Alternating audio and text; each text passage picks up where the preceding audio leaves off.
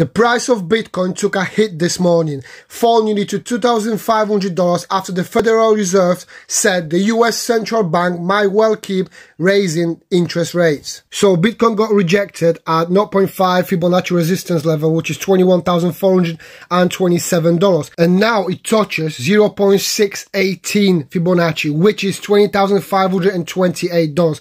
As it currently trading at $20,668, the candle still hasn't closed. Let's guys see where the candle closed at the end of the day. Where they close green or red. As you guys see, is literally touches the line. This is a good sign. That means this support actually works. If Bitcoin managed to stay above this support level of $20,500, we can expect a little bounce back in the next couple of days. So if you guys wondering why raising the interest rates in the US affecting the crypto market, there's your answer.